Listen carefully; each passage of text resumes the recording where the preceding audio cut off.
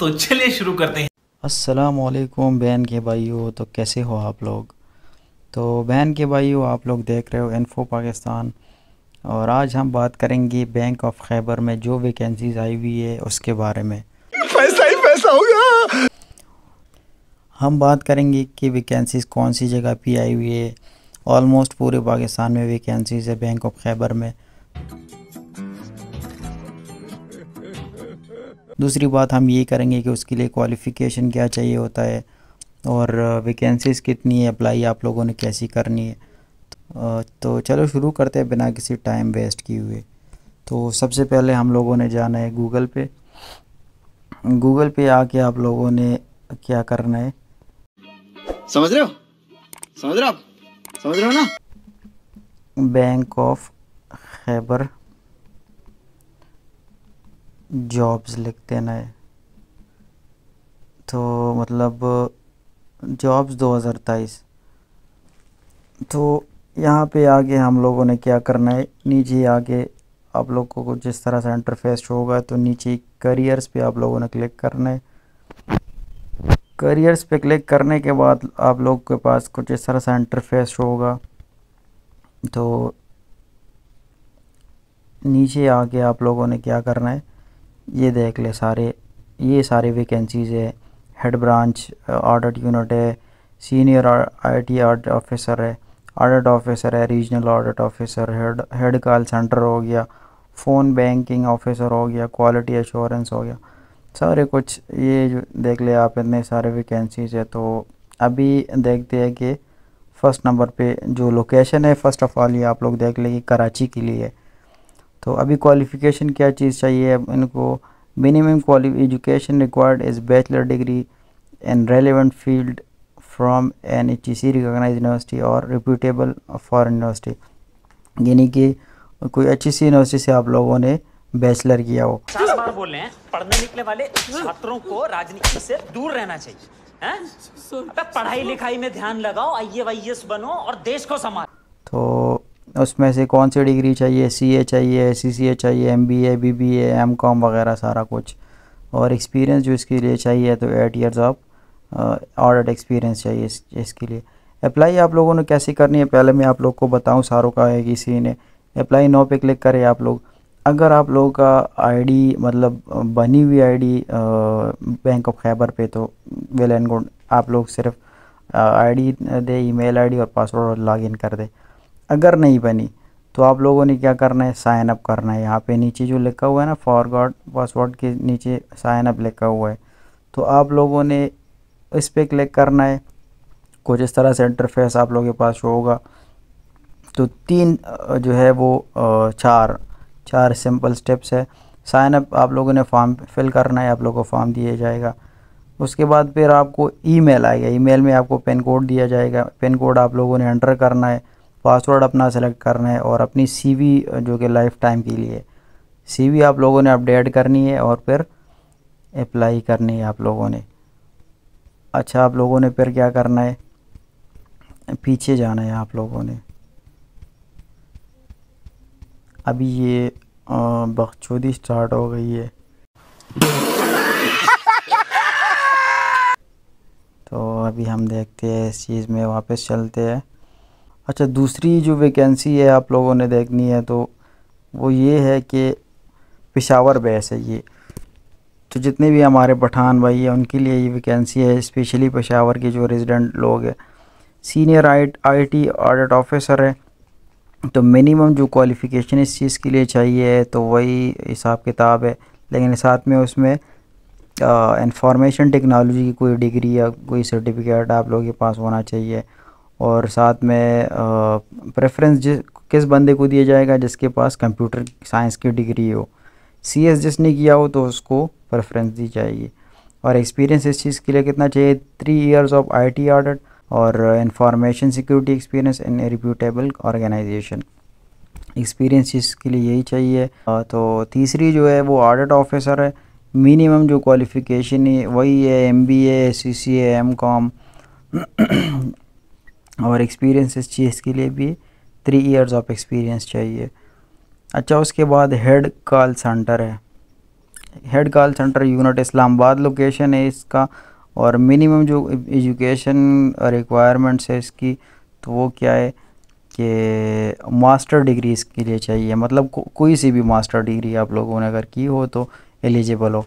और एक्सपीरियंस इस चीज़ के लिए भी three years of banking experience including two year in head handling call centre अच्छा तीन साल का बैंकिंग एक्सपीरियंस इस चीज़ के लिए चाहिए और दो ईयर का जो है वो हैंडलिंग कॉल सेंटर मतलब बैंकिंग सेक्टर में भी हो हो सकती है वो। नहीं क्या बोला तूने? नहीं पहले क्या बोला? चल। चल। चलो जाके इलाज। अच्छा उसके बाद क्या आता है? Phone banking officer Islamabad location है और क्वालिफ़िकेशन जो है, वही मास्टर डिग्री चाहिए one year of call centre handling experience in an a bank तो इजी है। उसके बाद क्या आता है? क्वालिटी एश्योरेंस ऑफिसर है।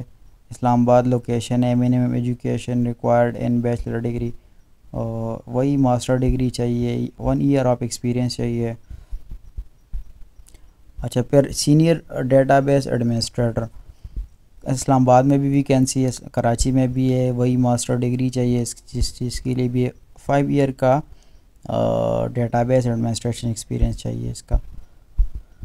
अच्छा उसके बाद आता है officer internal control over financial reporting location Peshawar है मिनिमम जो क्वालिफ़िकेशन इस चीज़ के लिए C A C C M B A B B A तो एम कॉम भी हो सकता है। तो टू इयर्स अब एक्सपीरियंस चाहिए इस चीज़ के लिए ऑडिट में या फिर फाइनेंस में, और उसके बाद क्या आता है अप्लाई आप लोगों ने अगर करनी है तो जैसे मैंने पहले बताई है ऑनलाइन अप्लाई करनी है आपने अप्लाई नाव पे क्लिक करके। तो वही आप लोगों के पास एक फॉर्मेट आएगा साइन इन करके। फॉर्मेट आप लोगों ने फिल करना है, उसके बाद फिर पिन कोड आपको ईमेल आएगा। ईमेल पे जाके आप लोगों ने पिन कोड उठाना है, फिर पासवर्ड सेट करना है और सीवी अपलोड करके अप्लाई करनी है। सिंपल सी बात है। अच्छा product development and research department officer तो ये भी पिशावर बेस वैकेंसी है। तो मिनिमम एजुकेशन रिक्वायर्ड इज़ शहादतुल अलामिया डिग्री दरस निज़ामी की डिग्री इस चीज़ के लिए चाहिए। From any recognise board of Madrasa with minimum seventy percent marks और साथ में क्या चीज़ चाहिए? बैचलर डिग्री भी चाहिए विद सेकंड क्लास और पोस्ट ग्रेजुएट डिग्री इन ये पता नहीं क्या कुलिया तो शरिया है क्या है? तो ये चीज़ चाहिए इस चीज़ की इसके लिए। और सी जी पी ए आप लोगों का कम से कम थ्री पॉइंट ओ होना चाहिए। मतलब थ्री से कम जी पी ए वाले जो है फिर वो एलिजिबल नहीं होंगे। अच्छा एक्सपीरियंस इस चीज़ के लिए चाहिए तो वो है two years of experience in giving Shariah rulings अच्छा जो इसके लिए भी एक्सपीरियंस जो चाहिए तो एक्सपीरियंस टू इयर्स का चाहिए और टू इयर्स का research experience in Islamic finance और minimum one year product development experience बहुत सारे एक्सपीरियंस भाई चाहिए इस चीज़ के लिए। अच्छा एग्रीकल्चर किधर चला गया?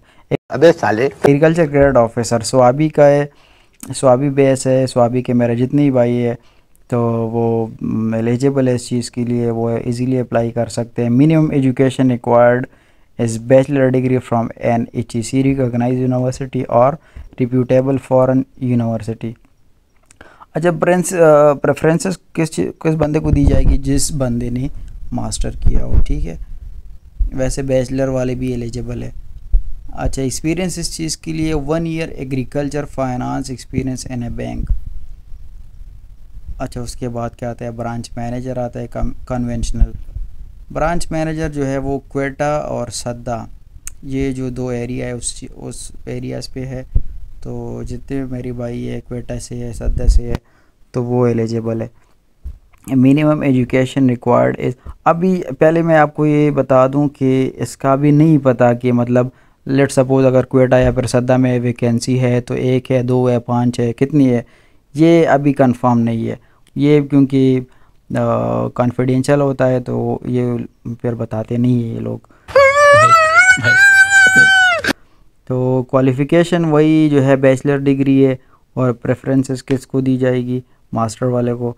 और एक्सपीरियंस थ्री इयर्स का बैंकिंग एक्सपीरियंस चाहिए, और साथ में ब्रांच मैनेजर का भी अगर कोई एक्सपीरियंस है तो बेटर होगा। तो इसी तरह ये बहुत सारे वैकेंसीज़ है। अभी एक एक को अगर मैं खोल के आप लोगों के सामने बताऊँगा तो वीडियो बहुत ज़्यादा लंबी हो जाती है। तो तो यही सारा कुछ है। आप लोग वेबसाइट पे आके देख सकते हैं कि कौन से रीजन पे वैकेंसी है और क्या रिक्वायरमेंट्स है उसके। अच्छा इसका मैं आपको बता दूँ कि इसका जो लास्ट डेट है अप्लाई करने का वो 6 अगस्त है। यानी कि अगस्त के 6 तारीख को इसका लास्ट डेट है उसके बाद फिर आप लोग की फ़ाइल जो है या फिर फॉर्म्स जो है वो सबमिट नहीं होगी। तो यहीं पे हम अपनी वीडियो को ख़त्म करते हैं। भाई मज़ा आया। अगर वीडियो अच्छी लगी है तो लाइक करें और साथ में सब्सक्राइब का बटन भी दबा दें। शुक्रिया।